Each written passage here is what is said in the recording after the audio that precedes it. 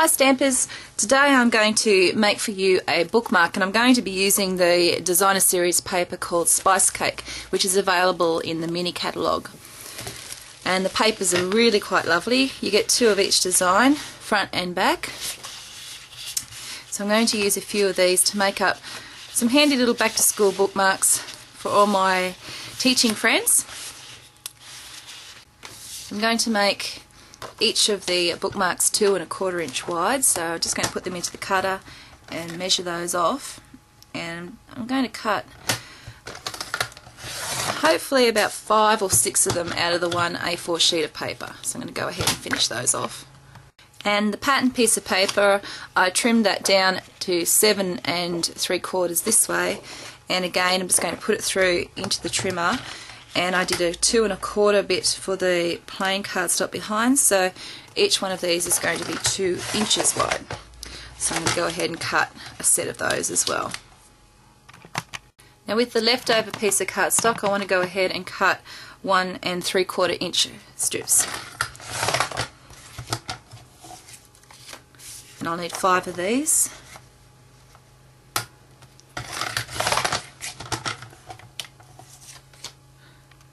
And using nesting dies or a scallop punch, you want to cut out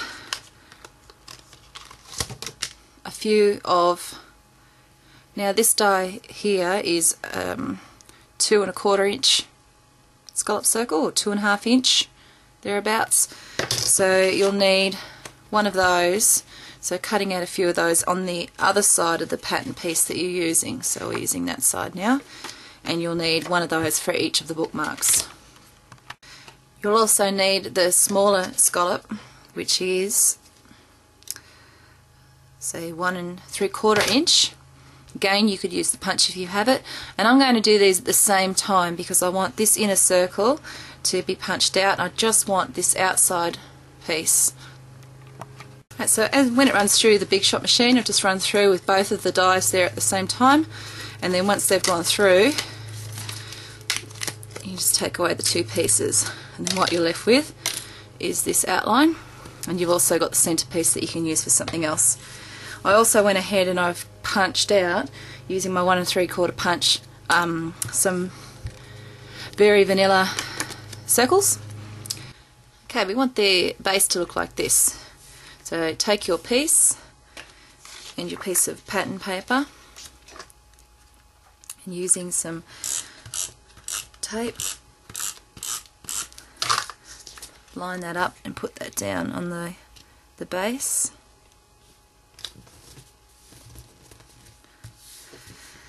And then take your one and three quarter punched very vanilla circle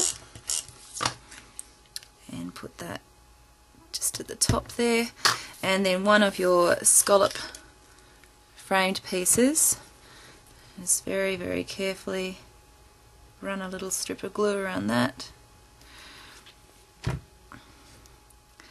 Line that up and glue that down. And that's how you have your, your base design. And then we're going to punch out an owl and make him in there in the middle. Right, I've gone and punched out a whole lot of different little shapes so that I can go ahead and make the owl. So I'm just going to do that with you now. So we're going to start with the base shape and then we'll need to put on a little top. So I'm going to do his little top in brown, his chest.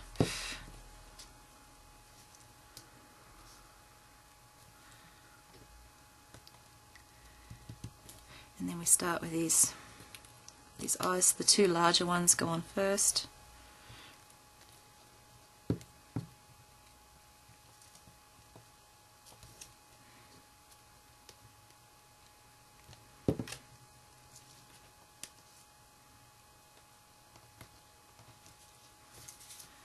Okay.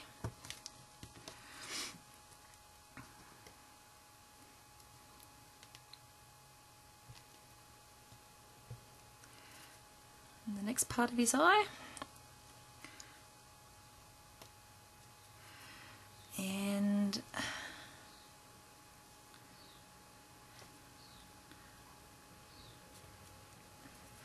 These little eyeballs. It can get a little bit fiddly, but persevere. Trust me, it's worth it. Usually you can use a bit pair of tweezers or something like that, but I'm not going to worry about that.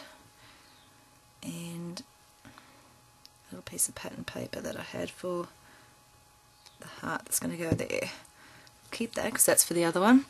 So there's one done. I usually paint over these with a layer of clear lacquer. The one that I quite like to use is Dimensional Magic and that just gives him a little bit of a, a clear sort of look.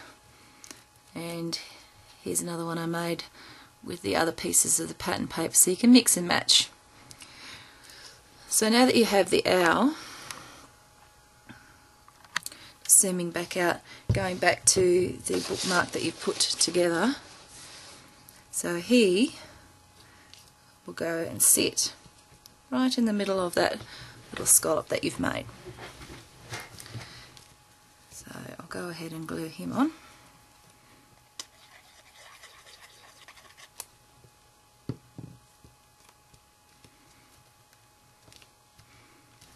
Okay, like so. And then the other piece of cardstock that we had cut out for the middle, I've cut this down once more because I didn't I thought it was too close to the edge. So I'm just going to trim off one end so that it fits more comfortably. And I'm going to ink this up and then I'm going to put a sentiment inside. So I've taken my smaller piece and I'm going to um, use the Essentials tool. You just start on the outside and you just blend in from the outside.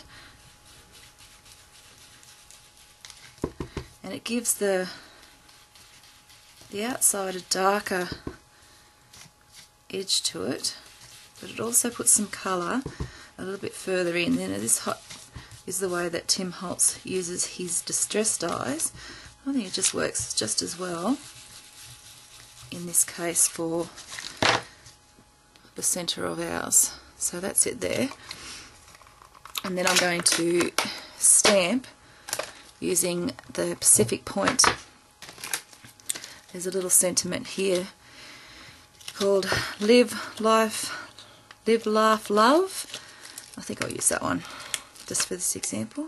Okay, so it comes off.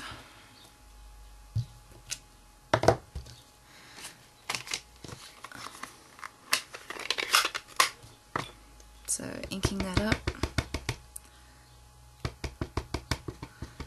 and stamping that off.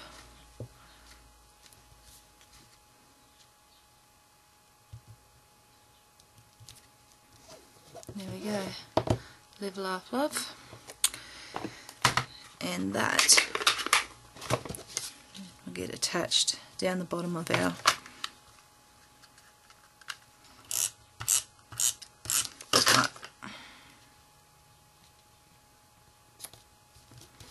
like so and then at the top we need to hole punch and add in some ribbon and that would finish it off. But there you have it just a really simple bookmark. Thanks for watching